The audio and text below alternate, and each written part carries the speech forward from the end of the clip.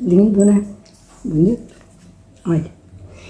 Esse, esse bloco, ele é feito com a técnica Courthouse Steps, que, traduzindo alguma coisa como escadaria do tribunal, degraus do tribunal, alguma coisa nesse sentido.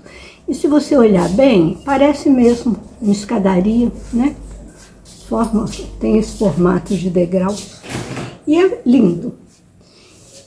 Então, hoje a gente vai fazer esse bloco, tá? Ele é super simples, mas a hora que você faz vários, você consegue criar desenhos incríveis. Então, eu sou Maria Antônia, você está no canal Costurando com Cores na Varanda. Eu vou pedir para você se inscrever e ativar o sininho das notificações. E vamos ao que interessa. Eu já escolhi os tecidos e cortei.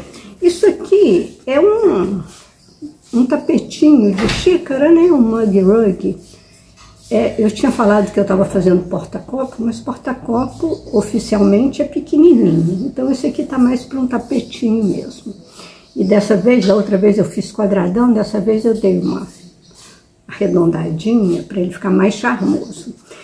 E eu fiz usando tiras de 3 centímetros. Como a minha máquina é industrial, você pode fazer com a doméstica sem o menor problema, porque aqui você usa só ponto reto.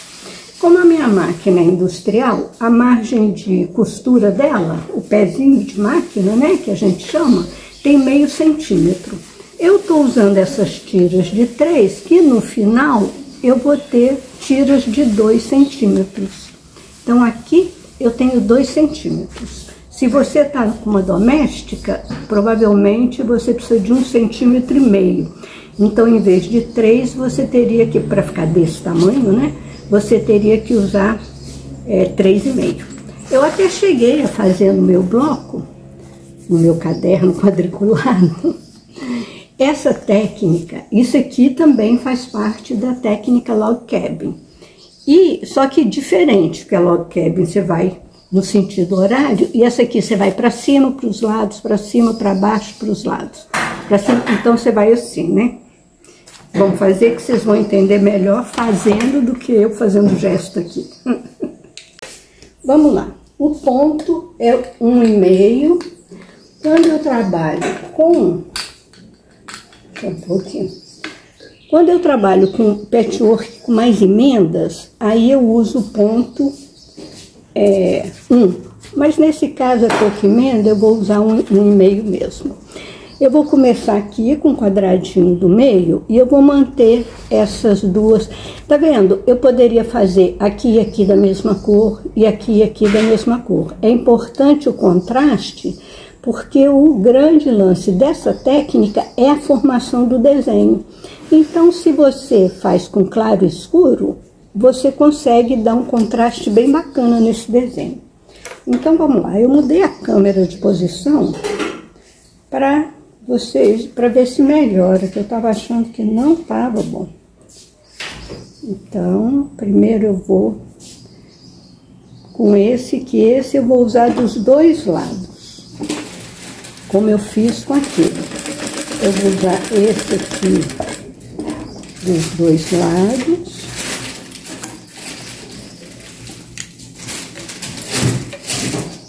Esse barulho é porque a mamãe tá aqui na cozinha. E eu tô na correria, porque eu resolvi gravar no horário de almoço dos pedreiros aqui do lado, da vizinha. Eu vou pregar as duas. Aqui, ó. Preguei uma, vou pregar outra, aí vou para base de corte e corto. Refilo, né?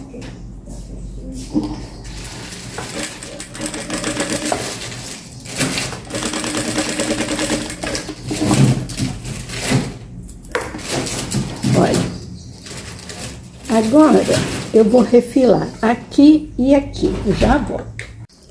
Refilado. E agora a gente vai pôr um em cima de uma cor e um outro embaixo de outra cor, porque eu vou fazer a parte de cima com vermelho e a parte de baixo com esse cinza azulado.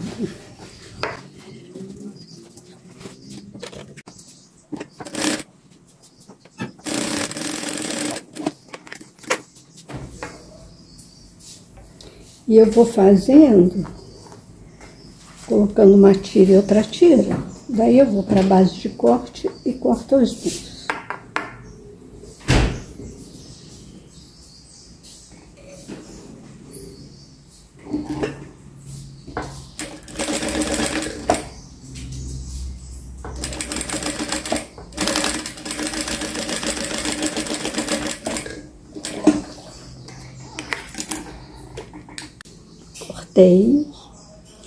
Agora a gente vem novamente para cá. Então, vocês viram? A gente coloca um lado, outro lado. Aí coloca a parte de cima, a parte de baixo. Agora a gente vem novamente para as laterais. E aqui eu tô usando esse tecido, o avesso dele é quase no mesmo tom do direito. Tem que prestar uma atenção. E o que eu estava falando, esses, eu estava pensando nisso hoje. O patchwork, ele é muito simples. Os blocos são muito simples.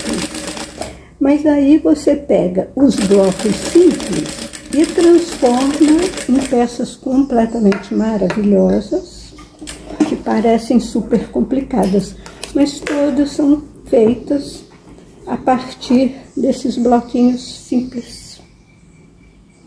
Não é legal isso?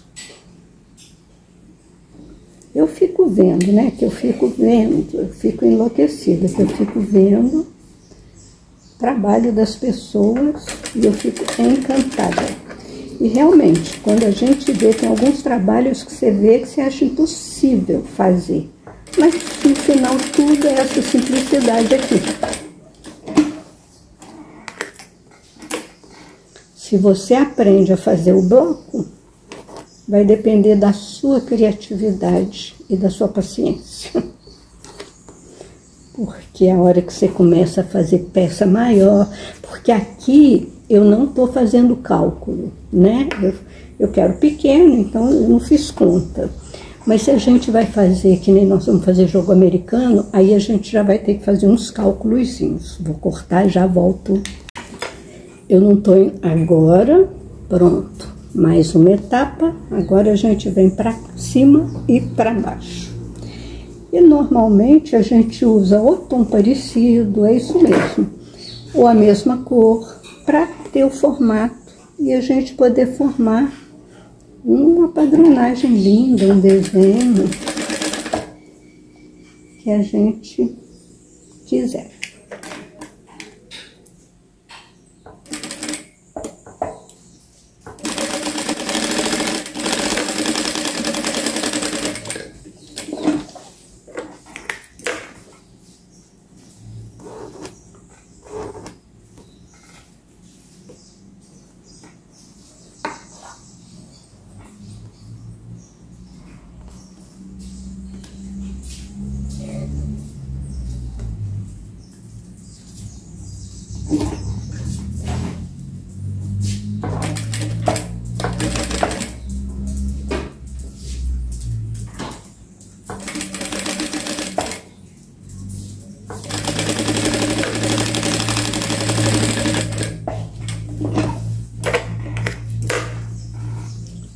Mais uma, sempre vincando, tá, gente? Eu tô pondo a costura, eu tô deitando o tecido e deixando a costura embaixo desse, que tem menos costura. Olha aqui. A hora que você vira para cá, ele não vai ficar se deparando com emendas, então facilita a vida. Mais uma. Se eu fosse fazer um porta-copo, esse tamanho tava bem legal. Só que tá tão pequenininho, né? Com certeza mais uma carreira vai dar, vai ficar mais bonito. E como eu não estou preocupada em ser ou não um porta-copo, para mim pode ser um tapetinho, um mug rug. então, para mim não tem problema colocar mais uma carreira. Então vamos lá, mais uma, mais duas dessa, mais uma vermelha, mais uma cinza. É muito interessante vocês observarem que oficialmente sempre vai ficar um quadrado. Para a gente transformar isso num retângulo, a gente tem que fazer uns cálculos, diminuir, aumentar, colocar mais na lateral.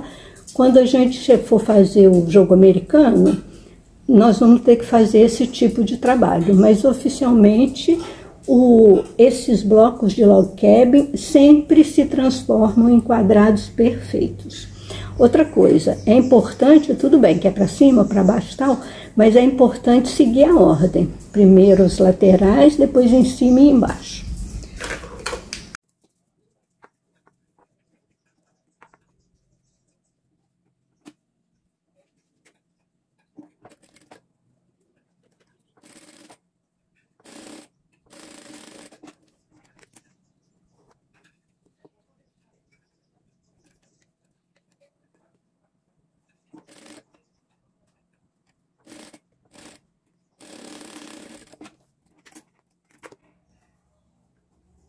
As laterais estão acabando. Vamos para base, eu fui sozinha o tempo inteiro, vão comigo agora. Vinca bem o vinco. Se você estiver usando ferro, é maravilhoso. Aqui, ó, dois e meio.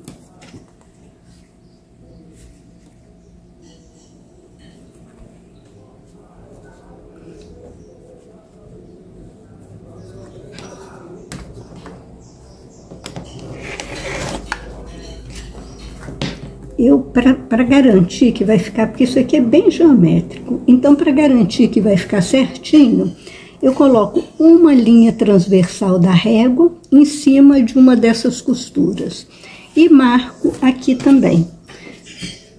Então, mesmo que às vezes está assim torto, mas a hora que for passar isso a ferro, vai esticar e vai chegar tudo no lugar. Se estivesse passando, não tinha nada torto mas você pode muito bem acertar dessa forma que eu falei. Se você fizer isso, fica perfeito.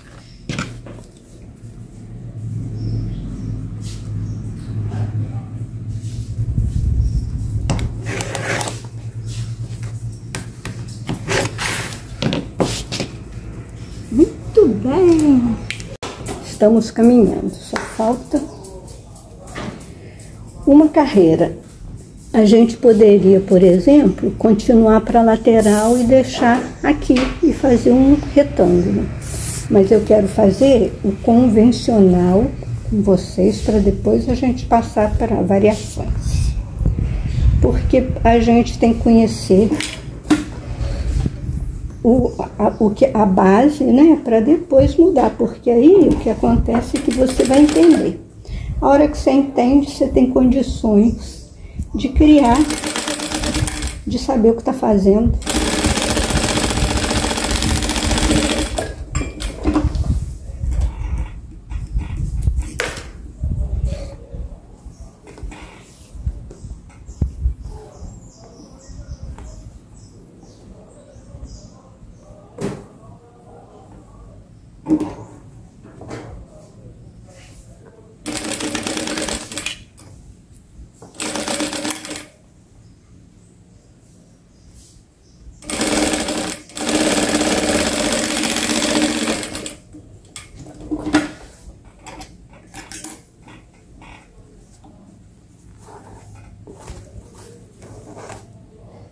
Vinca.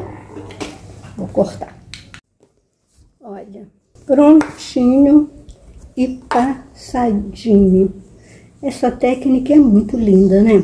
Agora eu vou colocar atrás um bagum fino. A Belle me perguntou sobre esse bagum, se ele aguenta a lavagem. Ele tem uma... Ele é de PVC e embaixo ele tem uma, uma tela que protege. Então ele é um bagum fino, delicado e na hora de manusear ele é mais delicado, ele fura fácil, ele rasga fácil, mas depois que ele está na peça, pronto, ele ganha uma certa resistência. E para mim, né, para o meu caso, que eu quero deixar impermeável embaixo, eu tô achando ele muito bom. Ah, lembrando, eu acho que eu falei isso na que eu ensinei o log cabin o outro, né? é, ele tem um que é mais grosso, eu estou usando mais fino, que é maleável, era o que eu tinha aqui, mas tem o mais grosso. E quando você for comprar, você tem que observar bem. Inclusive, se você usar o link que está na descrição do meu vídeo, eu coloco a gramatura. O que eu uso para necessaire, para bolsa e tal, é os 30 milímetros. Esse aqui é 24 milímetros e tem uma diferença enorme. Esse aqui, esse bagulho, para uma necessaire, fica muito frágil, ele não aguenta não. Ele aguenta para coisas assim. Eu faço, por exemplo, quando eu faço avental, tem alguns que eu forro com ele. E agora eu estou pensando, inclusive, em usar no jogo americano. Vamos ver. Para fazer esse mug rug, o que, que eu fiz? Eu cortei um quadrado do tamanho exato do meu bloco e eu vou colocar direito com direito e vou fazer uma costura deixando uma parte sem costurar, que é abertura para a gente desvirar. Aquele outro eu fiz a seco, fiz ele todo quadrado, esse aqui eu já dei uma, uma, um carinho especial fazendo uma curva. Vamos fazer com essa curvinha, que aí eu vou mostrar para vocês como eu faço a curva. Eu continuo com ponto e meio, porque aí ajuda a hora que você encontra as costuras, ajuda. Eu só vou mudar esse ponto na hora de pespontar. Gente, eu sempre trabalho assim, puxando o tecido para acertar, porque tem muita costura e por mais que a gente passe, é, é fácil ele ficar, ele sair do lugar.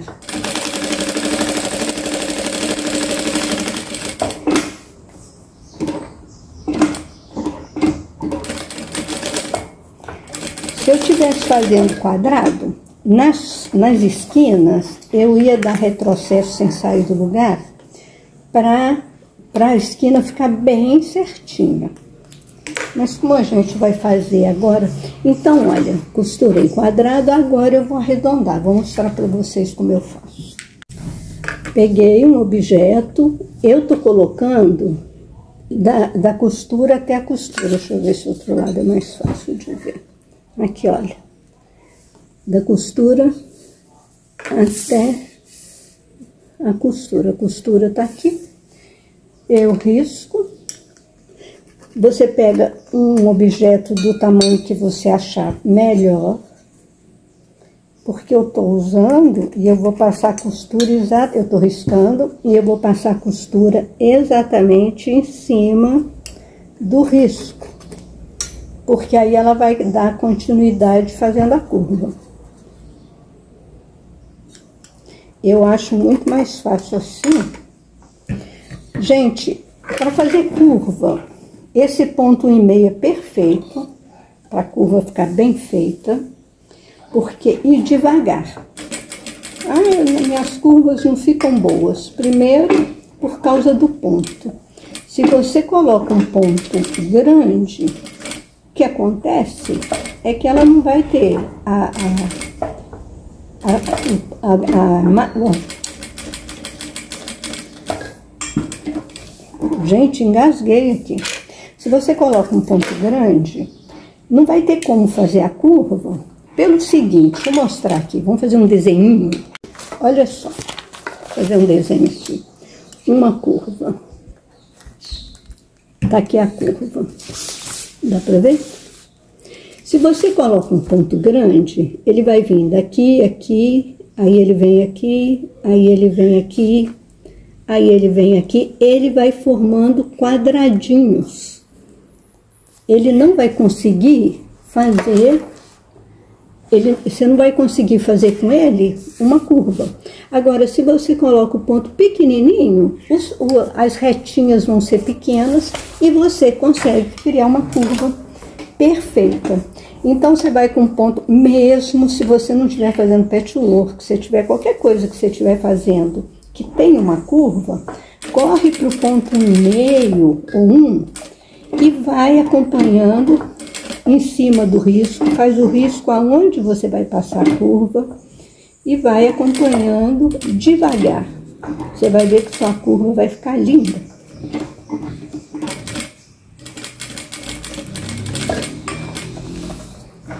São os segredinhos que a gente aprende, nem sabe aonde aprende. E que mudam a vida da gente. Porque dão qualidade e a gente adora trabalhar com qualidade.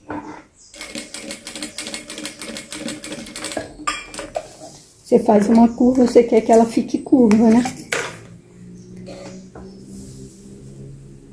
Gente, eu gosto muito, eu, eu tenho a minha tesoura de picotar e eu, e eu amo, ela fica aqui do meu lado na máquina, porque para você cortar curva é a melhor coisa.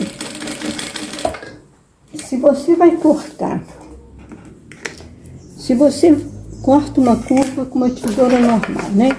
Vamos lá. Corta com a tesoura normal. Por mais que você corte perto, para não ter muito tecido, você vai precisar picotar. Você vai precisar fazer os picotes para o tecido virar direito. E aí, o que, que pode acontecer? Pode acontecer de você picotar sua costura e você vai morrer de tristeza. Com a tesoura de picotar, isso não acontece. Porque já tá, você cortou, já tá picotadinho, já vai virar bem a hora que você virar o tecido. É uma tesoura, o valor dela é razoável. Se você trabalha com costura criativa, com patchwork não tem, se é só patchwork, colcha, essas coisas retas, não tem, vamos desvirar agora, não tem muito, não faz muita diferença. Mas se você trabalha com costura criativa, vale a pena investir nela, tá? Porque, nossa, é uma, é uma mão na roda.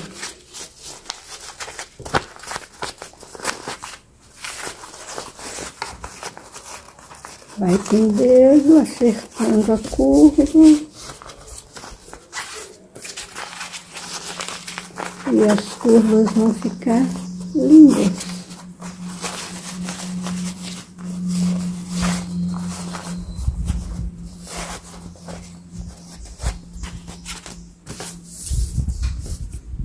Enfim.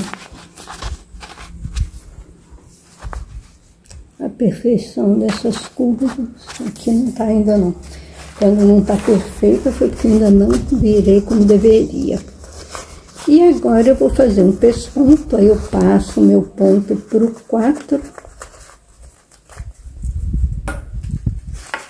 Quando você passa o dedo assim, você acomoda bem a sua costura.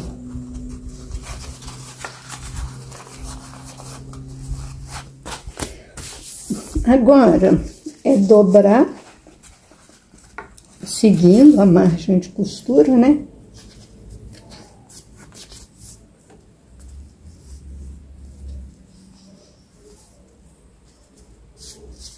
Tá cheio de linha aqui.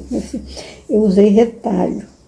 Quando a gente vai fazer uma peça maior, com esse tipo de com esse tipo de técnica que você mantém as cores para fazer um desenho, aí a gente tem, a gente tem não, né? Mas é bom que a gente faça o, quer dizer, o cálculo tem que fazer mesmo.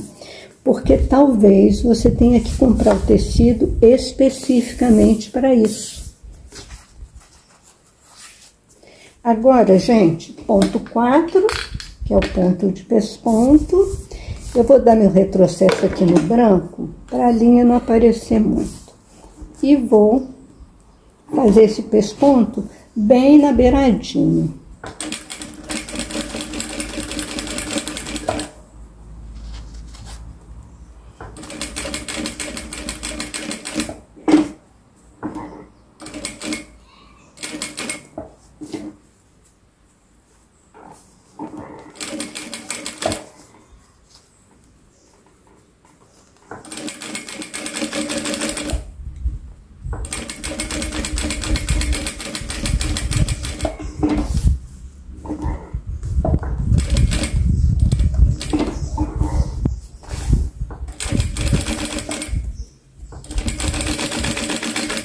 Tem horas que você está na, você tá na curva, você pode levantar um pouco o calcador e virar, ai, desculpa, o tecido, que aí fica mais fácil. Esse pesponto, ele tá com quatro, né? Então, o desenho curvo dele já não é aquele espetáculo.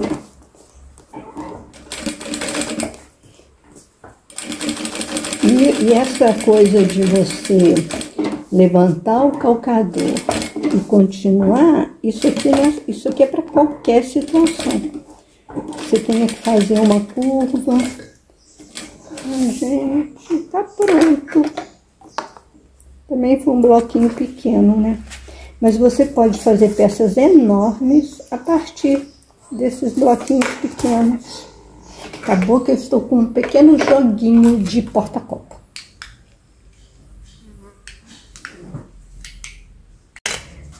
Gostaram? Esse foi o que eu fiz ontem, porque eu estava doida para ver o resultado. E esse foi o que nós fizemos juntas. Eu espero que vocês tenham gostado. Olha que legal, Natal tá chegando. Quer dar lembrancinha para algumas pessoas, quer dar ou quer aumentar o portfólio no seu ateliê. Olha só que lindos. E outra coisa, você faz um, assim, vender unidade disso é meio, é pouco, né? Mas você faz um jogo com meia dúzia, meia dúzia é uma quantidade legal. Você não precisa fazer eles iguaizinhos. Olha só, eles estão diferentes, mas eles fazem parte de um jogo, porque as cores são as mesmas. Então você pode usar a técnica, a cabana de tórios que a gente fez na aula passada, você pode usar. Então aí você faz assim, dois de cabana de tórios, dois desse, dois com, com o log cabin estável, que a gente vai fazer na próxima aula. E vai ficar lindo, porque o que faz a conversa entre eles são as cores. E vai ficar diversificado, vai ficar super bonito, você faz uma embalagem linda, porque uma pessoa que tem capricho para fazer isso aqui vai ter que fazer uma embalagem linda. Faz uma embalagem bonita e pronto, você tem mais um produto para agregar. E se você não tem o bagum, você pode pôr um tecido aqui atrás ou um desses, ou não sei, você escolhe um tecido e faz com tecido. Eu fiz com bagum porque eu tô querendo ele impermeável e eu tenho bagum aqui bastante, aliás. Então é isso, gente. Eu espero que vocês tenham gostado. Deixe os seus comentários, porque eu adoro saber o que vocês estão achando. Se tem sugestão, se tem, ai, tudo, dúvida, tudo deixa aqui nos comentários. Vocês já sabem que eu leio todos e respondo todos e eu amo. Então, deixa o seu comentário. Se gostou, deixa o like e a gente se vê na sexta-feira. Até a próxima sexta-feira, a gente vai fazer mais um mug rug, porque aí vai inteirar o, o, o trilho. Vai ser o a cabana de toras instável, que é o Wonk Log Cabin. Ele é lindo, ele só é sem essa forma toda certinha. Bom, mas a gente fala nele na hora que chegar a hora. Tchau, gente. Adorei estar com vocês. Espero que eu tenha explicado direitinho, que vocês tenham conseguido entender. Se não tiver, é só falar. Tchau, fiquem com Deus. Até a próxima.